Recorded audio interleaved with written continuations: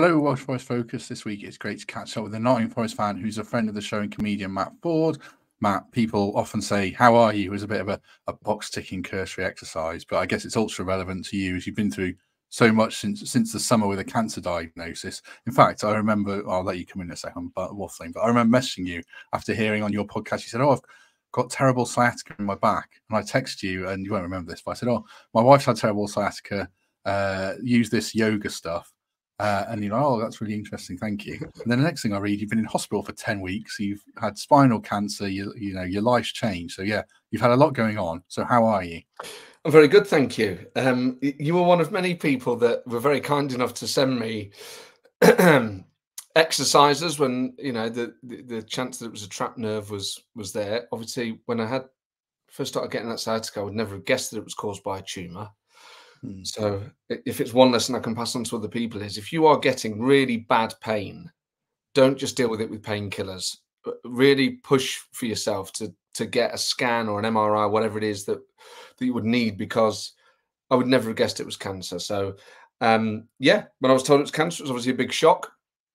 I was doing the Edinburgh Festival at the time, and then very quickly I was um, having conversations at the Royal National Orthopaedic Hospital in Stanmore in North London about uh, having it surgically removed. Very quickly, you, you don't know what they're going to tell you. You don't know how long, if they are going to tell you how long you've got to live or anything like that. And then before you know it, you're in hospital. It's been whipped out. Um, you go through the experience of, as you can, you know, it's a very big operation. I have a huge whacking great scar on my back. Um, you just, as a patient, I think you're just dealing with physical trauma of it. It's almost just like clinging onto a fairground ride or to, to a boat in choppy water that really you're not thinking about a great deal a lot of the time. You're just really not even day to day or hour to hour and minute to minute at times. And at times during that 10 weeks, it was very, very difficult. But on the whole, it was this amazing experience where I just think I'm very lucky to have had cancer, to have caught it, uh, lucky to have caught cancer early lucky to have come out of it with some physical changes, but really compared to what many people experience when they find cancer in their body, I feel like I've had a very lucky um, outcome. And um, it's just great now to be, I was discharged just before Christmas. And it's just so cool to be getting back into work and, and doing things and thinking about things other than just, am I in pain and, and what does my body need? Has it been like a mental whirlwind for you as much as a physical whirlwind for you? Because I remember um, I sound like a total fraud whenever I say I had cancer. I mean, I did, but I had this very lucky, uh, found it even earlier than you. I had surgery, I lost part of a kidney, no chemo, no long lasting effects. This uh, hoping to get the five year all clear very soon. But going back to, you know, diagnosis and telling family and um, like the mental whirlwind it was. I was 36, so just life comes at you fast type thing. Has it been like just that experience of reevaluating everything for you? Or have you been able to take in your stride, or has it, or has a lot of it not even hit you yet? Do you think?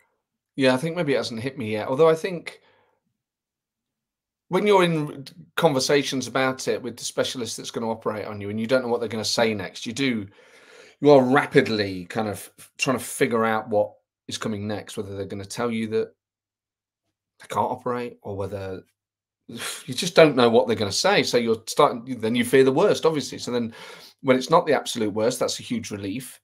Um, not to minimize then what you are then put through. But I, I really, I think it's almost too soon for me to have fully processed it, really. But I don't really want to dwell up, you know, I'm, I'm not the type of person to dwell on the the harder elements of it. I just think it's a really nice feeling to have come out feeling like um, compared to other people, it's not been too bad. Mm.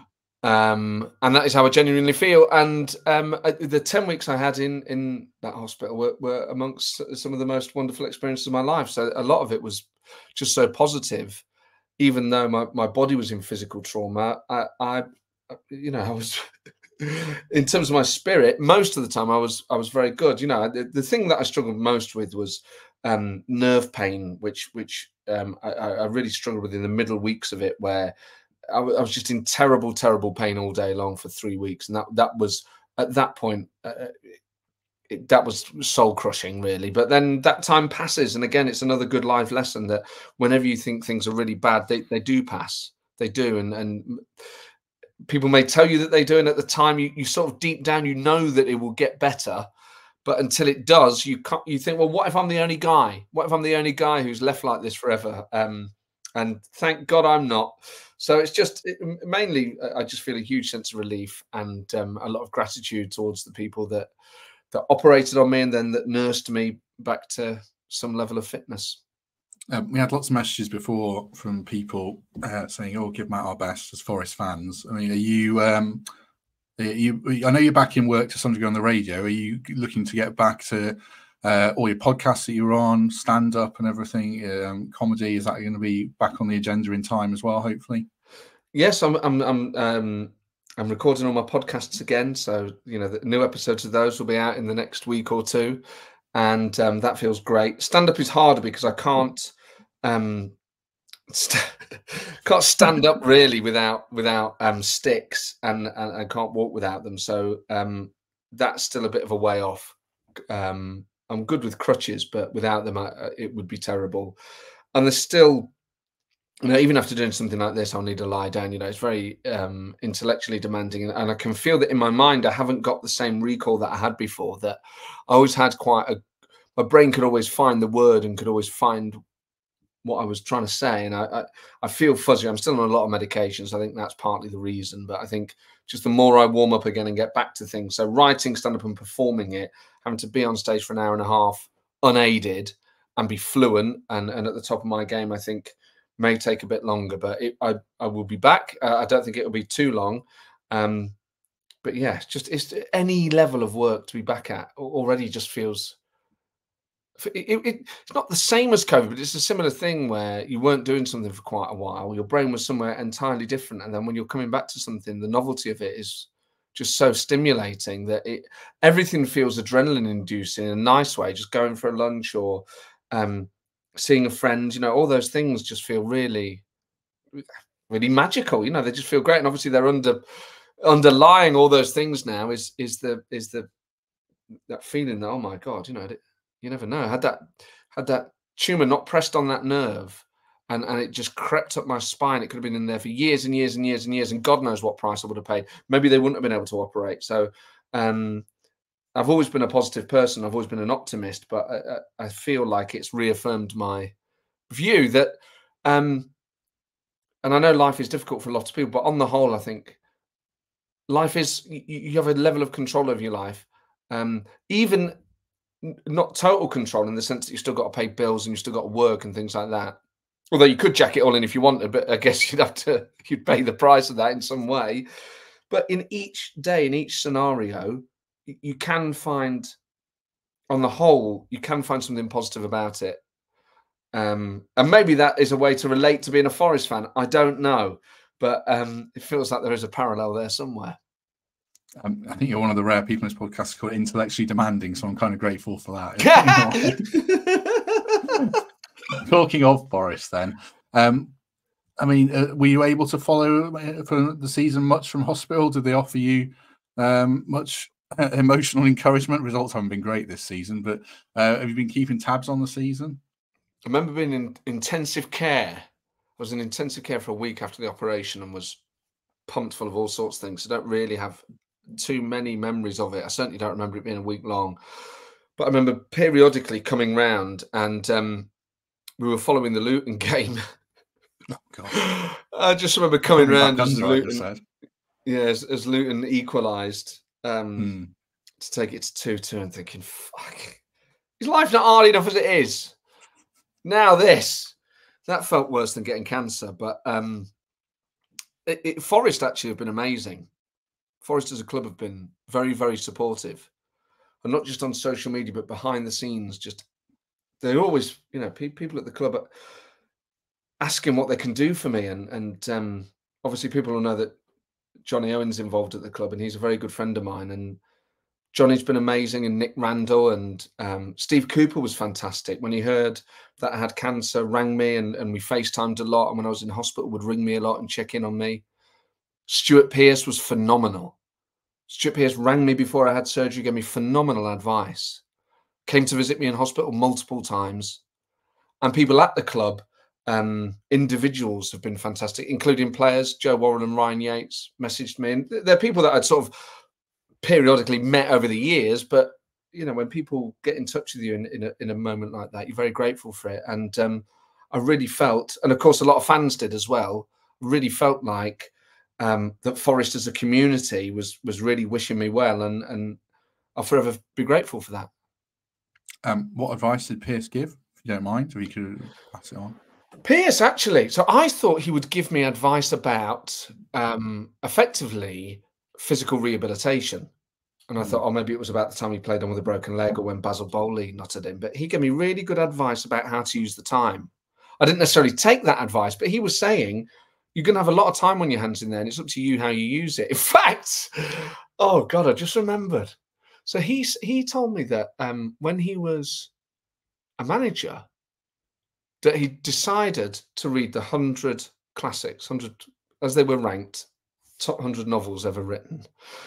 And they said he got caught reading Treasure Island in the dugout at Palace away, and I, and I thought He's right. I could read a load of books that I've never read. He said, "Oh, you could learn a language." I was like, "This is a really good way of going in, and not just thinking of myself as a patient, but thinking that, of course, the day will be taken up with a lot of hospital things, and, and for the for the initial acute phase, I might not have the um, ability to to read or the, or the wherewithal, but I will have a bit of time, and I can choose to use that as constructively as possible. So, actually, it I thought I might not be able to read, but I'll get an Audible account so I can download audiobooks. So even when I'm physically spent, and the problem was I'd, I'd been cut open at the front and the back, so I could only lie on my side for six mm. of the 10 weeks that I was in there. And teams of nurses would have to come in and turn me every four hours. So my posture wasn't such that I could read a book. And I wasn't allowed to lean up because of this huge wound on my back. So I thought I'll download Audible. And he'd mentioned Treasure Island. So I thought, well, that's a sign. I'm going to listen to Treasure Island. I don't know if it was just because I was in intensive care. It scared the shit out of me. I was just like, it was giving me nightmares. I was like, I can't, I can't, no one told me. I thought this was just about some guy who went to find some treasure on an island. I didn't realize it was a terrifying tale of pirates. It was absolutely petrifying. In fact, I had to stop because I was convinced it was actually causing me physical pain. So um, I, I, I paused um, listening to Treasure Island, but I've, I've resolved that when I um, feel confident enough, I, I, will take it back up. But he also gave me some really astute advice about how social circles work and about how some friends may feel a bit awkward. So if you don't hear from some people, it's not that they're not thinking of you; it's that they don't know the right thing to say, and not to judge people for that, and um, sometimes to reach out to them. So he, he, he's, he, as you would imagine, he's an exceptionally wise individual and uh, I, I, just thought those bits of advice were really, really helpful and really positive. And he just a very, very funny man. And and you know, you can't believe as a Forest fan that as he was at the time, Steve Cooper, that the manager was reaching out so often and spending so much time talking to me, and that certainly for me and for many Forest fans, our greatest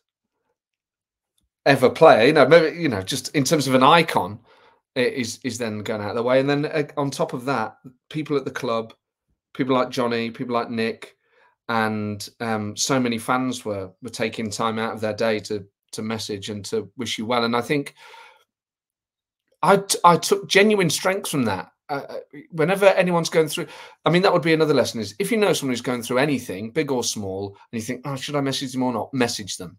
Just message them. They might not reply, but I think when you're going through something and people get in touch with you and just say, I'm thinking of you and I'm wishing you well, I would take some level of strength from that. I mean, I don't believe in God anymore, but when people would tell me they were praying for me, I, I took something from it. Just knowing that anyone out there is wishing you well on any level when you're going through the most difficult period of your life really does do something. It's just a little, it's just a little pick me up. It is just like a little flutter of something that you feel. So, um, you know, to everyone who listens to this podcast who got in touch with me and uh, or messaged me on Twitter or whatever, thank you very much. Um, has your outlook changed at all on Forest in terms of, I mean, football essentially, it doesn't pay the bills.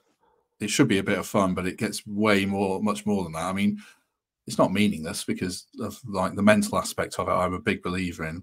Um, but have you changed how you view Forest and how you support them now based on your experience or not? I'm just as obsessed as I ever was. Um, I, I, mean, I've always believed that um, football is more than just a game, in the sense that what it means to people and what it what it does, but also just for escapism. There's nothing like it. You're mm. watching an entirely improvised hour and a half's worth of sport, and it could go either. You know, it's just it's magic. So w- watching football in hospital, watching um, not just Forest, but any game was just great. Super Sundays were just the, the best days in there.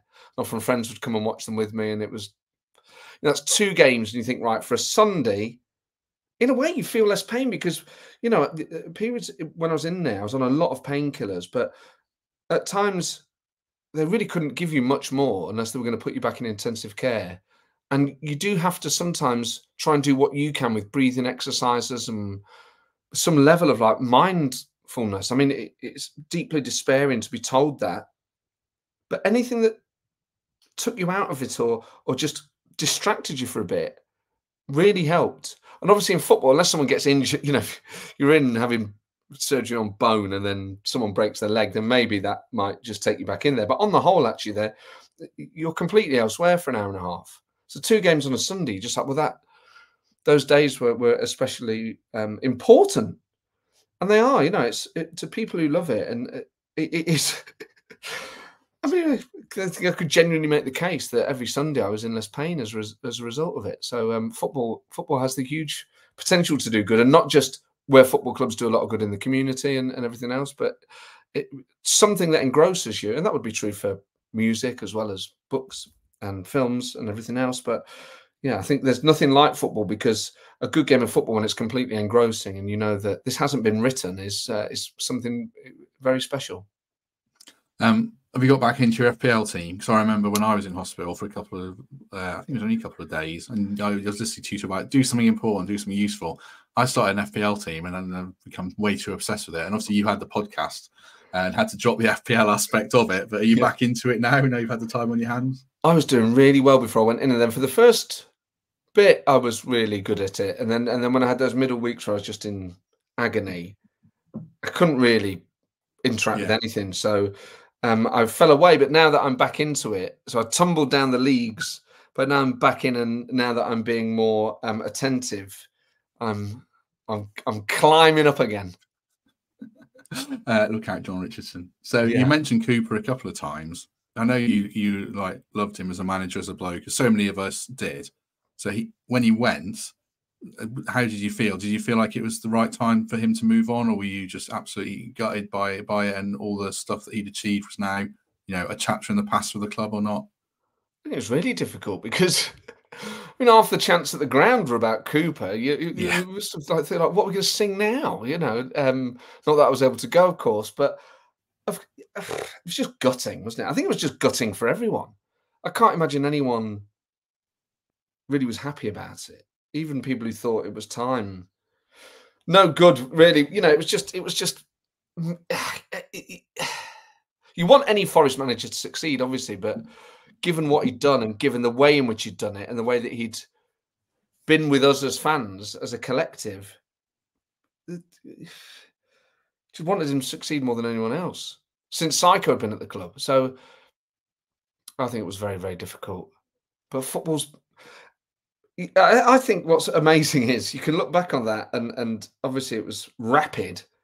Equally, other managers might have been sacked before he was, and you think about the time the previous year, and then in a way, what's quite nice is life does move on, and that's like an important lesson for us all. Is um, obviously I was in a position where I was really, for, for a moment of time, I'd really had to think about life and whether mine was going to be shorter or a lot shorter than I thought it was going to be, and I rather than finding sadness in the fact that things go on, I find real um, strength in it. I think it's nice to know that stuff goes on stuff, you know, mm. and for better or for worse, um, you move on to the next phase, and that's difficult for all involved. But you, you do move on, and and um, I think Nuno, um, you know, particularly the the Newcastle and the Man United game, and then the West Ham game, you think.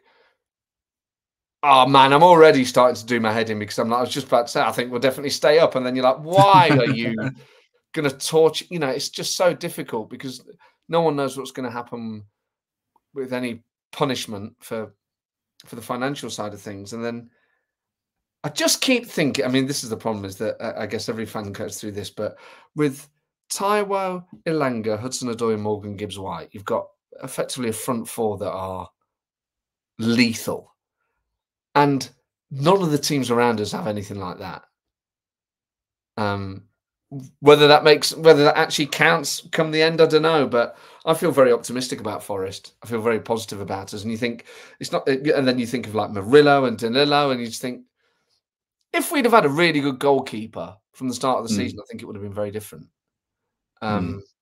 So now I'm going to do that really dumb thing of going, not just do I think we'll stay up, but I'm already thinking we might get mid table next season. Like already starting to overreach again. But how can you not? How can you not get excited about those four? They're phenomenal.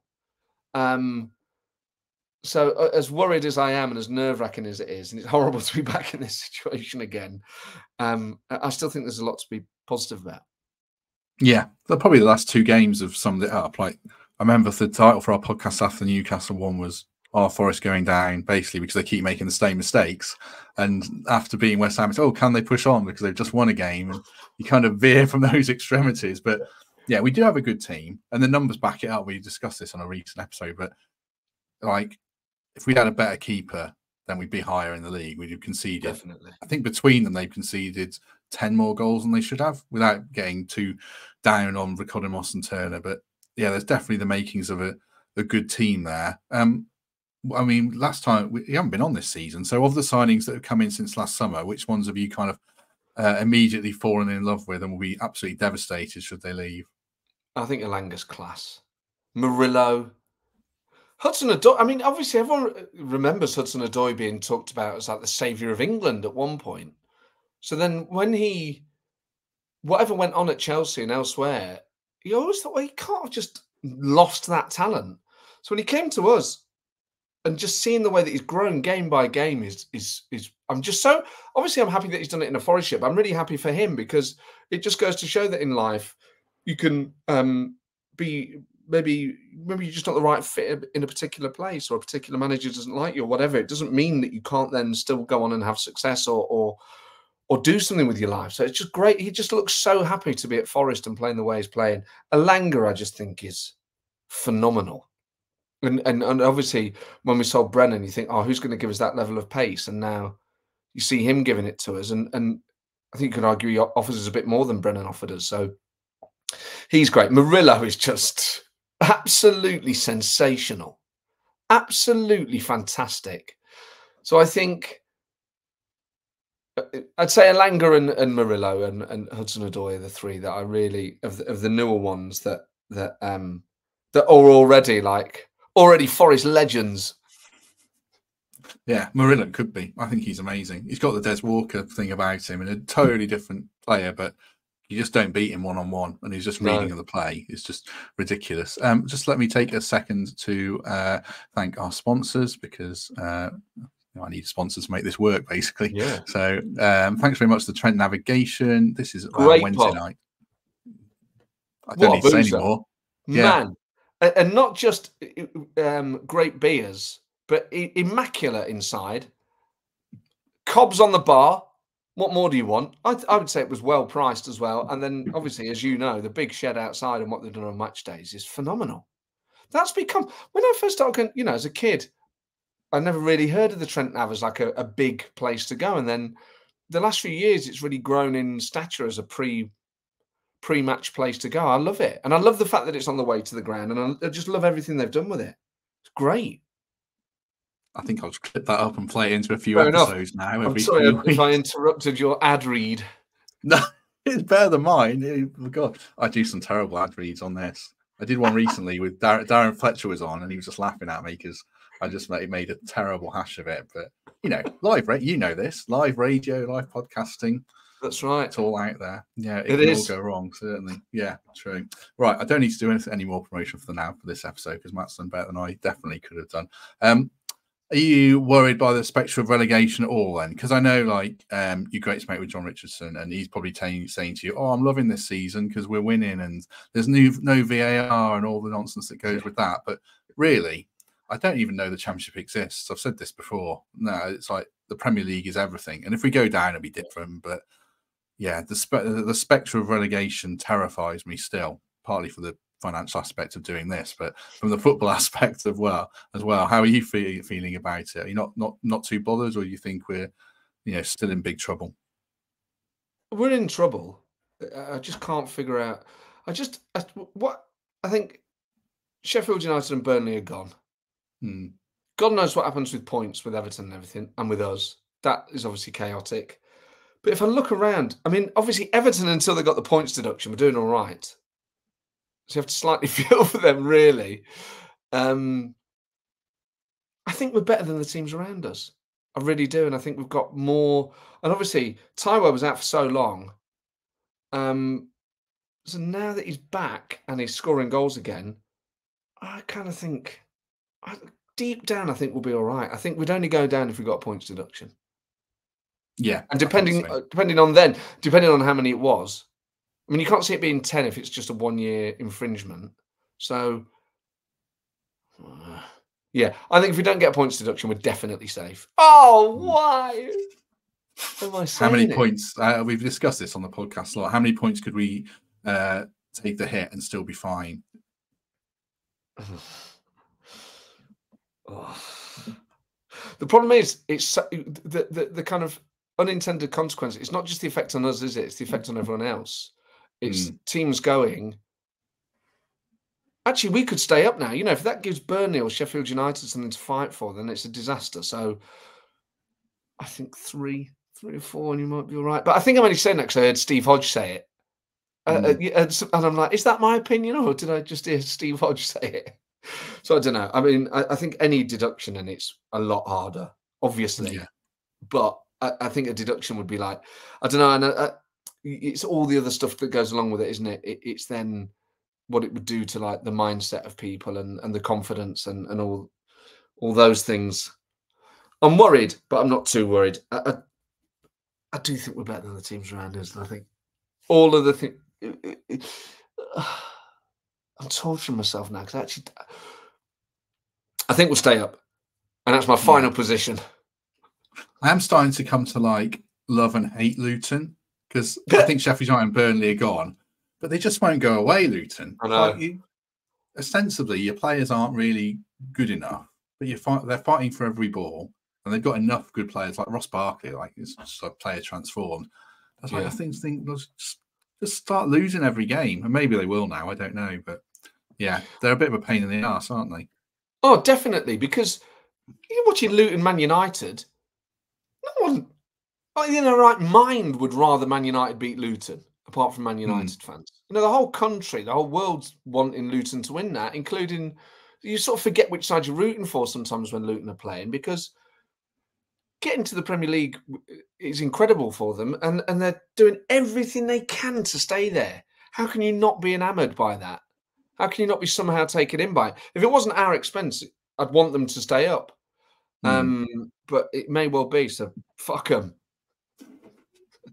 yeah, I think they might. I mean, yeah, I look at like Alice still and Brentford and Everton. There's, yeah, I think there's other teams around us. Maybe Luton can stay up and we can stay up. I'm not sure. Um, That'd be nice. What do you make of what do you make of Nuno into as a manager and as a uh, and a, an impressionist? Could you do a Nuno? Do you think? Do you know what? I've not thought about who I could impersonate for so long that I've got. it can't be that hard, can it? But um, uh, I mean, yeah, I think you have to say like we look good.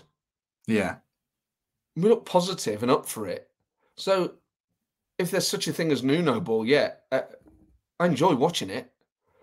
We we look like we're up for the fight. We look we look like we're not just going to um, be easy to beat. You know, you, you compare it with obviously the five 0 away at Fulham is one of the worst Forest performances we've ever seen. Mm. That is like rock bottom, really, probably since the League One times, or since the last game of the season in the Championship a few years ago when we missed out on goal difference when it all fell to pieces. Um, compared to that, it's fantastic. But obviously, the way we played against Wolves soon after was was a much better. So we were getting better performances under Cooper. But um, I think the way the way he's got us playing football is brilliant. So that gives me a lot of confidence as well. And I think um, a lot flows from the manager, and and he seems to be a very impressive person. Hmm. When you look back at that Fulham game, it shows how there's always a way back for a player. I think because there were a few players there. I thought, oh, if they don't play in a Forest shirt again, I'm not fussed because they. I thought they down tools. But then you look at you know how um, well Dominguez was one. I think he's done great. Ola has done great. Um, Sangare got hooked at half time as well. And we haven't really seen the best of him, I guess. But um, yeah, do you, does, does that game show that you know no matter how badly it goes, there is always a way back for players if they knuckle down? Yeah, and obviously, like players are human beings, mm. and hmm. like the, the, it was all like a shared. You know, Cooper was there at the end, sort of taking the blame you felt and, and apologising, but really it was good for the players to apologise as well. Really, and and in any workplace, there'll be people who are more motivated or less motivated. You know, there are some people that clearly, after a period of time, are less motivated by what being a footballer brings, depending on who's in charge or whatever. And sometimes having a new manager with a different way of doing things suits players. And it's sometimes it's just a bit of a reminder of what who pays their wages and what the hell's going on. Um, so yeah, I think there's always a way back for people. Um, definitely. Um, as, as livid as sometimes we get watching them. but in a way that's more annoying because you're like, well, if you can do it now, why don't you do it then? But then you never know. You know, the one thing that um after doing this sort of job and listening to a lot of football podcasts, you'll often hear stories from players going, Oh, you know, I'd just found out my dad had died or my mum was ill or whatever. And you think, we sort of presume that they've got nothing else going on in their lives, or that because they get mm-hmm. a good wage, that those things shouldn't affect them.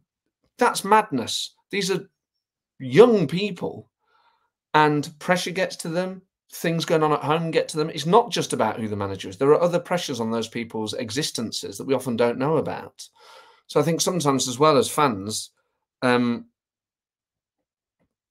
we just need to slightly be more like not you pay your money, and if the team aren't putting in a good enough performance, you're entitled to your opinion. Obviously, we've all been livid with Forest players and teams at, at various points in the past, but now I definitely think I'm more inclined to think, as, as annoyed as I'll get inside the stadium or watching on telly, I always try and think there might be other stuff going on here. They're still human beings, and I don't know the reason behind. Sometimes someone's, you know, you only need to look at that interview with Dele Alli and and and um, when everyone was wondering what had happened to his form and the reasons behind that. You think, well, um, we don't know what are going on with what are often young men miles away from home, got very international squad. Um, it, it, wouldn't be unusual. You know, if you'd said, look, there's this 20 year old kid and he's from one side of the planet, he gets plonked on the other side where the weather's terrible compared to this lovely climate he'd been used to. Um, do you think it would take him a long time to adjust in any line of work? You'd say yes. Um, and yet in footballers, we're like, you've got to be brilliant now and all the time, otherwise you're a terrible person. You think, well, despite that, you know, obviously the money that they're paid is sort of often is um, justification for the outrage and sometimes players are lazy and, and rubbish and they don't try as hard and that, that's infuriating but i think sometimes that or at least maybe i'm being too charitable. I sometimes think there might be other stuff going on i'm going to try and chill out a bit. No i think you're right. I think like i sit here six days a week and talk about it and sometimes you don't appreciate like i mean uh, it's a bit of a cliche about confidence but kelvin wilson was on here I asked about that Fulham game, and he said he thought it was mostly confidence. Lewis said the same. Lewis McGugan, and Michael Dawson was on here, and he said, "Oh, there was a stage in my career where I couldn't pass the ball five yards without thinking it was going to go awry." And I guess we forget that. I mean, uh, I guess have you ever had that in your career? You know, stand up, you're testing out jokes the first time they bomb, and you think, "Oh, I can't do this." I'm, you know, that that that that uh, imposter syndrome where you think like, "I don't belong at doing this." Have you ever had that? I guess. I never really had imposter syndrome. And and I guess what's different about comedy is obviously when you first start, it's a bit harder because you're trying to figure it all out. Mm. With sport, um, obviously players come in and out of form in a way that comedians tend not to is that you know you tend to figure it out and then obviously your constant routines might get better but they, they very rarely get worse you very start off with it. You very rarely start off with an idea that gets worse each time you do it because you just stop doing it. You know, it's just you know you're constantly on a on a on a way of like improving things. So I, I can't really relate to it in that way, but I think what you can relate to is confidence at work in other places or or in friendships or in relationships. Or I've worked on shows where um, certainly you know stand up is an individual pursuit, so that's different it's more when you've worked on TV shows where it's like there's there's a number of you writing, and obviously you want to be getting as much, if not more, stuff in a show each week than than other people, you, you, because you're justifying your place on, or you feel that that's the way to justify your place. So I can identify with it from that point of view. Of you certainly need, I think, in life to be feeling the results of things or, or, seeing the results of things in order to gain confidence and then it becomes self-fulfilling is you get more confidence and then you are better at it and that makes you more confident and so on. But if you go through a period where you feel like i'm not getting stuff on or in footballer's sense you know not scoring goals or you can't pass it because the crowd are on your back or whatever um i can relate to that in a very very small way but obviously i don't have every time you write a joke in a writer's room, there aren't 30,000 people booing or, or yeah. cheering or, or, cheering. That's true. Like you step up to read a joke out and everyone goes, oh, not this guy. that does happen sometimes, but yeah, rarely. Um, obviously, you haven't been to a game in person for a long time. I mean, I, I, assume you probably missed that. Are you hoping to get back next season? Maybe is that not something you've been able to think about yet? Um, I'd like to think. Uh, I'm hoping I can get to a game this season, but I'm just not rushing anything. Mm. Um, I have missed it. You know, I see videos, and when you're on, te- you know, you watch it on telly. There's nothing like being there. There just isn't. Um, so for all the years that I've lo- not lived in Nottingham, I've uh, there's no substitute for being there all the time. You just you just more part of it. You, you just the thrill of live sport when you're there is just fantastic. And and being at the Forest Ground and it feels like home, doesn't it? Like you, your emotional attachment isn't just to the club, but to, to the place and specifically that that part of Nottingham and the feeling you get when you walk over Lady Bay Bridge or Trent Bridge. The, the you know when you hear Mull of or whatever it is when you night games under the lights and all things like that that's such a big part of it it's not just oh did we win or did we lose it's was I there for me? So I've got, I've kind of had to get used to um, not being there most of the time, and then obviously in the last, as you say, whole season being physically unable to be there. Um, so then you, you, when you're from afar, you know, especially I think if you're going through difficult times, it, it really um, you cling on to it, cling on to Forest. You know, you you you want them. You know, going through something difficult like, like I've been through, and then Forest are rubbish on top of that. You know, oh man. Whereas any win, any goal was just the most euphoric feeling, just the, the, most wonderful relief from it all. To get out, you know, to be to be discharged from hospital, and then uh, I think it was like the Newcastle game a few days later. It was just great. It was hmm. absolutely mm. great. It was just such a. Uh, I think I've even been on the day. I can't remember anyway. Like my sort of my memory of chronology is slightly messy, but my God, it still means just as much. I just would always, always rather be there. Hmm. It is mad what a win does for you. Like even um, well, more people listen to this when we win. Um, I'll spend. Oh, that's fascinating. I'll spend all week like I'll actually watch match of the day if we win. I must confess I don't really watch it if we if we lose. Or I'll fast forward our game and I'll watch um, that match day pass they do on the YouTube channel. If it's one where they show the players celebrating afterwards, yeah. the fans celebrating, like the psychological, um, is it dopamine or whatever that boost that it gives you it is mad just for a win in the Premier League compared to the Championship. But the Premier, any Premier League win, it just feels like an event to me. I don't know if you feel the same. Oh, the same. But I still watch it if we lose because I'm just so desperate to see as much footage of the game as I can. Um, so I, I, still watch it if we lose, but um, I'm just desperate to see as much as possible because I can't be there. Um, but yeah, win. Oh, you're right. In the Premier League, especially given where we are in the Premier League, that that three points is um, can just you know, especially if you can get a couple of wins together, can just hoist you out of trouble. Mm. Um, mm.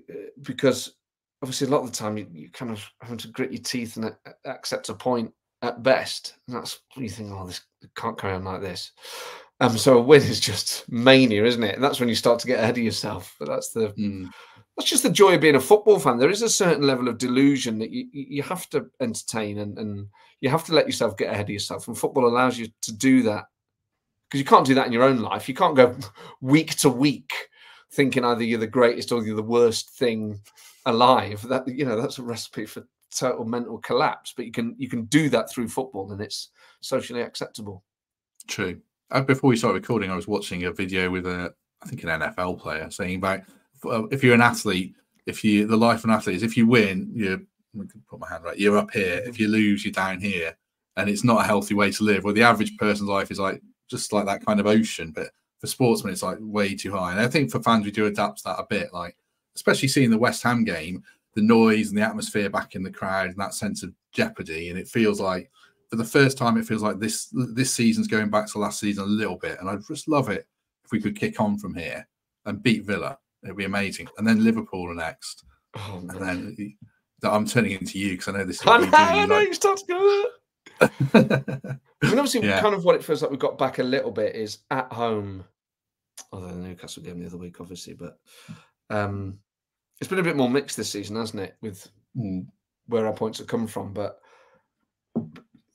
keeping the City ground is a really difficult place to come to. So then you do look at that Liverpool game, which is obviously mad given where we are in the league and where they are, and what they might potentially achieve this year. Are we nutters for thinking? Well, we beat my home last year. You know, uh, why not this year? And I, I don't think we are. I don't think we are the way things are, and that's that's one of the great things about football is we should have no right to beat Liverpool this season at this stage of it, given where we both are. But uh, you wouldn't, you know, no, would anyone be stupid enough to write us off? paraphrase exactly. Exactly. Well, Jota's out. Salah's a doubt. I was reading. You know, you know they'll, they'll be coming off a Carabao Cup final. Of course, Yeah. if we get tanked five 0 by Aston Villa on Saturday, then I'll won't be feeling the same way. But as we sit here right now, I can uh, I can make a case certainly. Uh, the clock's ticking down. I know you've got to go shortly. Anything you want to plug now? You're now you're back on the work treadmill to an extent. That anything people should be checking you out at now. Um, I mean, my podcasts are back up and running. Um, I'm back on British Scandal in a few weeks, and um, I've started doing the political party again, my political podcast. And Jon and I, Jon Richardson and I, do a podcast called Down the Dog, which is set in a fictional pub called the Dog and Bastard, which actually is a real pub inside his house. Um, but it's you know two mates down the pub, and the audience come and join us for for um, a drink of uh, you know it can be non-alcoholic, whatever it is. And um, obviously that was something I hadn't done for a long time, and he's uh, you know, it's my best friend. So to be back doing stuff with him is a really nice feeling. And um, yeah, just doing podcasts. In due course, I'll I'll be returning to to other things, and I'll be flogging tickets and whatnot. But for now, it's quite nice to not be, not really have anything to plug. Um, Yeah. just to be just to be thinking about Forest and oh, I think we'll stay up. I really, really do. I really think we'll stay up. Um, we have to believe that, and not just because uh, anyone has to think that of their team, but given the way we play and the way we look and the other teams around us, you think No, we will. I mean, have you seen the stats? Um, it's got, it was on Monday Night Football. It was actually on our podcast before about how since Nuno came in, we've got the third best defense in the league from open play, and um, the the obviously the front four scoring goals. There's no front four down the league or front three to match our attacking options. I don't think. Look at Everton, Palace when Eze and Olise are fit are good, but they just can't stay fit. And then Burnley and Sheffield United and Luton don't really have that that quality. So, I mean, it goes back to our problem all season. If we can just defend free kicks and corners into our box, then we'll be much better. If Matz Sels is a steady seven out of 10 and not what, you know, uh, God love Matt Turner. He seems a good guy, so I'm not going to bury him. But if he performs to a higher level than Matt Turner and Vlachodimos did, I think we'll be absolutely, absolutely fine. I'm sure. So yeah, I don't think it's misplaced optimism. It's just can the players defend set pieces? Basically, I know it sounds stupid, but surely they can. Just- Yeah, they did it against uh, West Ham. That was a great performance. yeah, Didn't give away free kicks. Didn't give away corners. You know, go to Villa. I love a draw. Villa are really good. But um, yeah, and then it's Liverpool, and then it's Brighton, who are, you know, they're a real mixed bag. Say again. That's winnable, isn't it, Brighton? Yeah, don't do any Mason Holgate tackles. And, you know, who knows? Who knows? Yeah. Man, Um, what was he think? Anyway, yes. Um, say one thing that did piss me off actually, and I'm sure you covered it to death on it at the time, but the fact that every pundit thought it was a great laugh what Ivan Toney did. oh, yeah. It's cheated. Like, It's oh, funny, well, 'cause dead we- clever. You think, oh, I can't live in a world like this sometimes. Well, there- and that, since I do this with more people now from when I worked at the Post, it was a bit of a split. So the the pros, uh, the ex pros were, and the cynics amongst us were like, well, any Forest player would have done it. And then the others like Greg and Emily were like, that's cheating. You can't do that. So it depends which which hat you have, I guess. But also, I don't like it when any player, you know, this whole. I know people have a love of what they call shithousery. Yeah, I'm not a massive fan of it when anyone does it. I, it, it- winding people up, I, I don't. Not that I'm some like total purist, but I think I, if you went to school with people like that, they do your head in. You Mhm. want to work with someone like that. Don't encourage it in football. Less shithousery, I say. Just, you know, more more greenhousery. Let's just, um, you know, let's have players growing sustainable food for us all to eat. yes, that, that sounds shit. like the uh, something that could be tested in a focus group by a political party. I think. No, Greg Mitchell will be delighted that you're back. Uh, he's a Patreon member of your podcast with Jon Richardson down the dog. Oh, man. be very pleased. That love pub's real then, because I watched Meet the Richardsons, um, and you were on it. I don't know if you enjoyed acting or not, but uh, it, it blurs the lines between reality and um, comedy, you know, fiction. But that pub's real then, is it?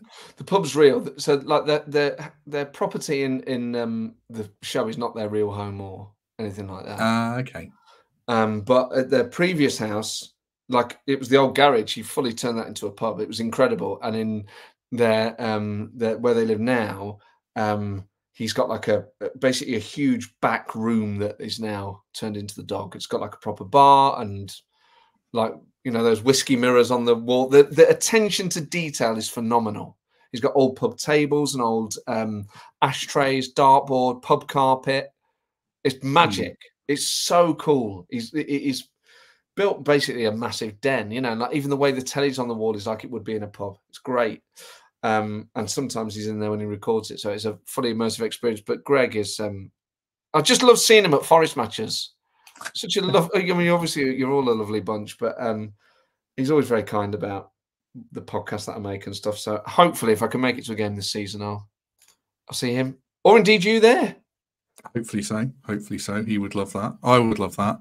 Uh, talking of Greg, so he's back on. Is he back tomorrow? No, he's back on Monday. Uh, post uh, Villa tomorrow, 10 a.m. Myself, Temps, Emily previewing the Villa game, then Villa post match. Uh, oh, on Friday as well, uh, interviewing a guy called Ian Finch, who's a Forest fan, who is a producer for the BBC, who uh, produces all the big outside broadcasts for sport and BT and he does he works on match of the day so we can finally find out about running orders and how the show works and why forest fans obviously forest fans you know uh, hate things being left out. So we can pick ian's brain on that. So do join us for that.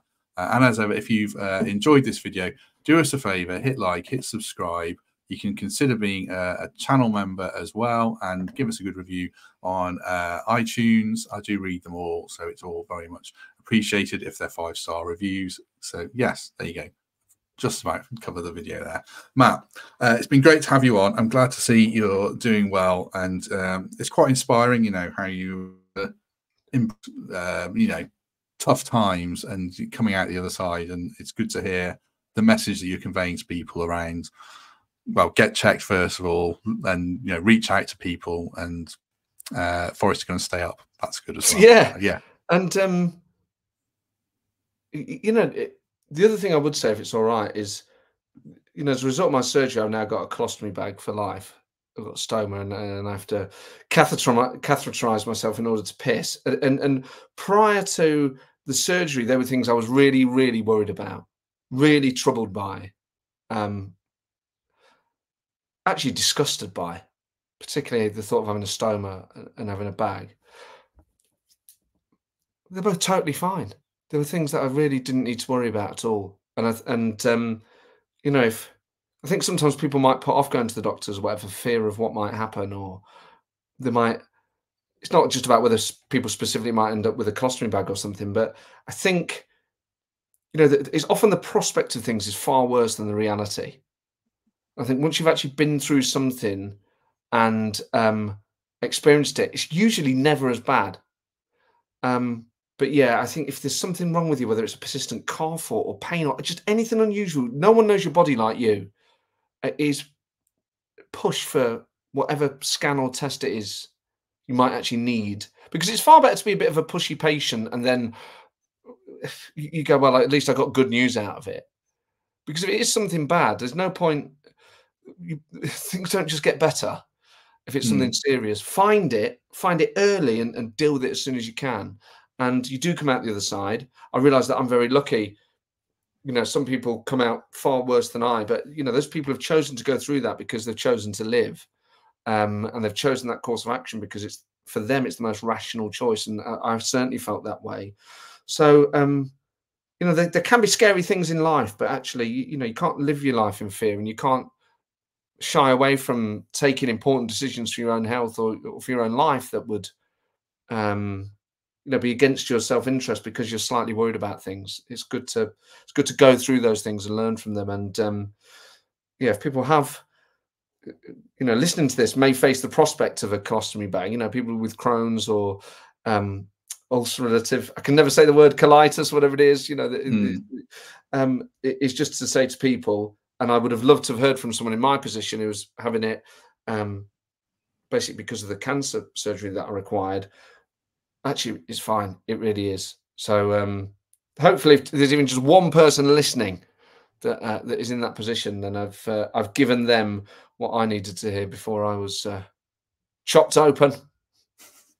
No, you did right. You did right. I mean, I, I know I keep saying it's like it's a fraud, but my thing was found and it was stage two, and it, if I'd left it and it goes to stage four, and then you have a very different prognosis. So, yeah, uh, Matt's absolutely right, certainly, and yeah, echo what he says. He says it's far better than me. And yeah, listen to Matt's advice. You're an inspirational guy. Well done. Well done. Oh, mate. And um, I guess if there's one extra thing I could add, it's that you should leave a five star written review while sitting in the Trent Nav and enjoying one of their wonderful ham cobs.